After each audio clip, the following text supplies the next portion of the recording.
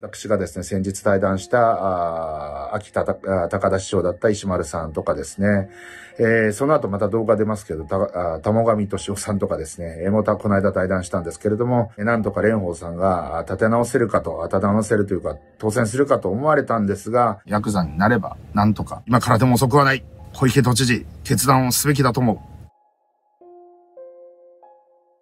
今日は、東京都知事選、に正式に立候補を表明した、えー、小池百合子知事のですね、えー、公約が明らかになりましたので、えー、それについて解説をしたいと思,、え、思っております。言葉選びがですね、まあ割と上手というかですね、環境大臣時代からですね、非常にあの、言葉選び、まあうまかったと思うんですけれども、えー、まあ彼女らしくですね、公約ではセーフシティ、ダイバーシティ、スマートシティというですね、えー、この三本柱で行きましょうということで、えー、まあそういった中でですね、子育て、とか教育にお金がかからないということで、今まで第2子以降、えー、保育無償化等をやっていたんですが、これを第1子からに拡充する。えー、またですね、無痛分娩の費用の、えー、無償化というか、補助というですね、そういったこともやってると。えー、無痛分娩ですね。えー、多分子育てとか、あ、子作りをしたことがある人たちはあまり馴染みないかもしれませんけれども、えー、麻酔を使ってですね、えー、出産する際に、まあ、痛くなく、しかも、まあ、分娩日ももう決まって、えー、夫も立ち会える、みたいな、えー、そういった、まあ僕はあの、いいとこずくめだと思うんですけれども、伝統的な保守的な価値観を持ってる方々は、あの、子供を産む時にはですね、痛くなければいけないみたいな、よくわかんないこと言う人たちがいるんですけど、あの、分娩日も決まって、えー、痛くない。何が悪いんだっていう話なんですけれども、まあ多分費用が余計にかかるとかですね、そういった自然分娩に比べるとですね、費用が余計にかかるんじゃないかとか、そういったところが懸念点だったと思うんですけれども、まあ要はお金的な問題で、えー、無痛分娩を諦めてた人もいらっしゃると思いますけれども、そういったところにですね、非常に、えー、女性制度というのをですね、作ったということで、まあ、これはすごくいいことなんじゃないかなと思います。えー、またですね、都立大学の授業料の、えー、実質無償化みたいなことを、えーやるみたいですけれども、私はあんまりそこに関して言うとですね、え、高等教育に関して言うと、えー、まあ、頭がいい人だけが行けばいい話なので、そういったところまで補助するっていうのはいかがなものかというふうに、えー、思いますけれども、えー、まあ、他の都市との競争という意味ではですね、若い特に女性に響く政策のような気がします。えー、またですね、多摩地区を通る多摩都市モノレールの延伸とか、中央線のホームドアの設置などを頑張ると。あと、女性活躍基本条例の設定や、えー、制定や、えー、認知症専門病院の、え、開発なども進めるということで、えー、まあ見てる限りですね、これまでの政策、まあ電柱をですね、完全に地中化させるとかですね、これまでの小池都知事のですね、路線の延長線上で、守りのまあ、もちろん現職が圧倒的に都知事選では有利なので、えー、守る、えー、政策になってるのかなと。まあ、周りのね、あの、例えば子育て重視している流山市みたいなところとかですね、そういったところに流出しないようにですね、東京最強の状態を維持するといった、まあこれまでの小池都政も、えー、何かこう派手なことをやってとか、えー、そういったことではなかったし、えー、まあ、まず当選した時にですね、都議会自民党のドンみたいな人を攻撃してですね、知事になったということで、まあ、言葉選びとかですね、こう PR は非常にうまいんですけれども、まあ、めちゃくちゃ画期的なことをするというイメージはないです。えー、今回の、まあ、公約というものもですね、生活に密着して、えー、これまでのですね、表、支持表ですね、えー、固定表をがっちり固めつつ、え、若い層のですね、特に女性のですね、えー、支持を得ろうと。まあなんかグローステックだななんだのっていう話は、えー、一応言ってはいますけれども、海外からたくさんの人たちが東京にですね、お金を投資するとかですね、そういったことはなかなか、あまあ、国際化とかですね、本当グローバル都市として、本当ニューヨークとかロンドンとかに並ぶポテンシャルを秘めた素晴らしい街なんですけれども、まあそれをなんとかしようという、えことはですね、えー、全く感じられなかったなと思いました。東京大学大改、えー、大改革3.0というふうに題しておりますが、あの、言葉選びはですね、本当にうまいんですけれども、内容はあんまりない。えー、これまでの延長線上。ただ、この、こういう風な政策にした方が都民にはおそらく響くだろうなと。ただ、東京が持ってるポテンシャルは十二分に活かせるかというと多分活かせない。悪くもなんないけれども、特に大きく良くなるわけでもないっていう。ただ、まあ、グローバル化の中でですね、グローバル大都市、東京とかまあ、日本で言えば東京、大阪になりますけれども、まあ、メガロポリスと言われているような都市なんですけど、アジアの北京、上海、香港、シンガポール、ジャカルタ、バンコクみたいなところに比べるとで、クアラルンプールとかですね、そういったところに、えー、の、まあ、スピード感に比べるとですね、非常に、あの、スピード感は全くないなと。まあ、しょうがないよねっていう、まあ、悪くもなんないけど良くもなんない。小池百合子さんが今、まあ圧倒的に優勢ではあるんですけれども、野党が共闘するとですね、えー、なんとか蓮舫さんが立て直せるかと、立て直せるというか、当選するかと思われたんですが、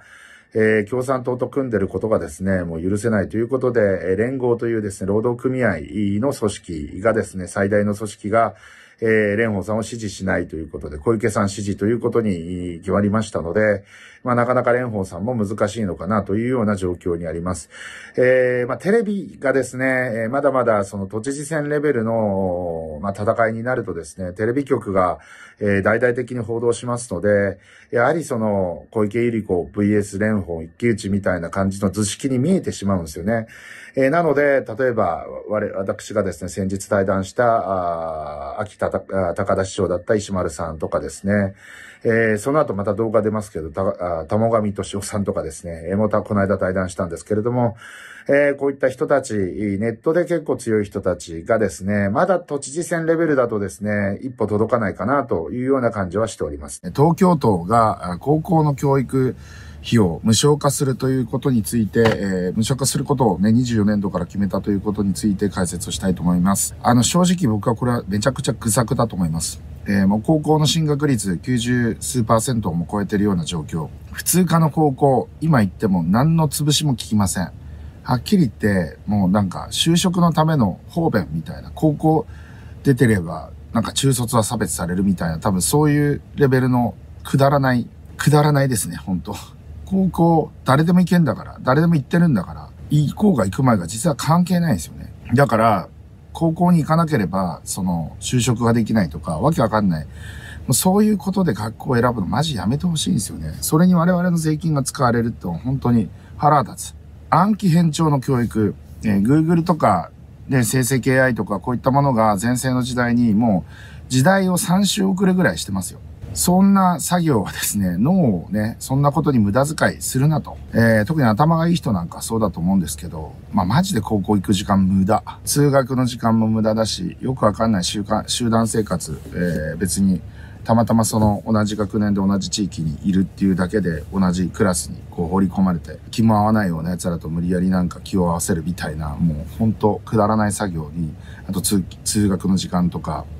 勉強できるやつにとっては、あの時間、あの、学校の授業とかってマジで退屈なんですよね。あの、教科書読めば終わるようなことをですね、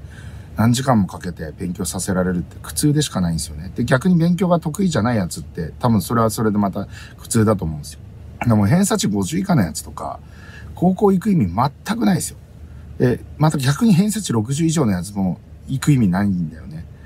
だからその50代ぐらいの偏差値50代ぐらいのですね、中途半端な人がですね、えー、は多少意味があるのかもしれないですが、まあ今の時代はほとんど意味ないでしょうね、本当に。でも別に高校生って家に別にいたっていいわけじゃないですか。手がかかね、あの目が離せないわけでも何でもないし、自分で判断して、えー、自分で生活できると思うんで、親の側も別に学校にこう、えー、入れておかないとめんどくさいとか、手間を取られるとか、そういったこともないんでね。やるんだったら専門学校的なところとか、本当にあの、手に職をつけた方がいいんですよ。頭悪い奴がいくら勉強したってね、脳の能力が低いんだから、あの、頭が別に良くなるわけじゃないんだよね。で、昔はね、そうやってホワイトカラーをですね、高校で勉強させて、えー、Google もね、あの、性能のいいコンピューターもスマホもない、インターネットもない時代は、それはある意味、まあ必要だった作業だったかもしれないですが、もう、今全部あるから。あの、頭悪い奴がいくら高校に入ったって、大体ね、高校でみんな勉強してないっしょ。ほとんどの人たち。だってさ、元素の周期表だってみんなさ、覚えてねえんだからさ、覚えてねえっていうか、その、水平リビ僕の筆みたいな、あの、変な暗記はしてるかもしんないけど、その、元素がどういう意味を持っているのか、陽子と中性子と電子の関係とかね、そういうのわかんないから放射能を怖がったりとかするわけですよ。はっきり言って教育はワークしてないと思う。高校の教育なんてみんな学校ただ行ってるだけで、ちゃんと勉強してるやつなんかほんと一握りだと思います。そんなもののためにめちゃくちゃ金が使われる。税金が、俺たちが納めた税金が使われる。まあ、俺は東京都民じゃねえから関係ねえっちゃ関係ねえんだけどさ。腹立つじゃん、なんか。それこそスタディサプリとかね、えー、そういう通信制の高校で、まあ、いいようなことをわざわざ学校通っていくのに、それに対して補助金を使うって本当にアホだなと思いました。本当に、本当に嫌だな。あの、バカな、頭が良くないやつは本当高校なんか行かずに、なんか手に職をつけた方がいいと思いますよ。なんかこう繰り返し繰り返し反復作業で、えー、でもなくならないような仕事みたいなのあるじゃないですか、職人の世界とか。寿司屋とかもダメよ。あの、YouTube とかで僕がね、十何年か前にあの、寿司屋で 10, 年修行するやつはバカだって言ったんだけど、いや、文字通りバカなんですよ。バカに手を手に職をつけさせる。だから10年、どんなにバカで家は金も持ってないみたいな、もうどうしようもない奴らが、一人前の暮らしが送れるようにするために、そんなやつでも10年間同じ作業ずっと続けてたら、寿司ぐらい握れるようになるだろうというのが寿司屋の修行のシステムだったんですよね。だから、どうしようもないやつを安月給でブラックロードさせて、で、まあ、下働きで使って最初は皿洗いぐらいしかできないけど、そのうち10年も寿司屋にいりゃね、えー、握れるようになるだろうと。で、10年経って、で、ッチボック終わって、独立をすれば、10年も同じ作業やってたらさ、あの、寿司握れるようになってるわけですよ。だから昔のさ、寿司屋さんって、めっちゃ不愛想だったじゃないですか。で、あれ不愛想ってわざとやってんじゃなくて、多分コミュニケーション能力がなくて、だから要は、べしゃりも得意じゃないわけですよ。べしゃりも得意じゃないから、黙ってずっと黙々と作業してる。まあ、それぐらい多分、黙って黙々と作業しないと、お客さんと会話してる余裕なんか多分ないんだと思いますよ。というようなセーフティーネットの仕組みだったんだけれども、まあそういったね、分野ってどんどんどんどん少なくなってきてるんで、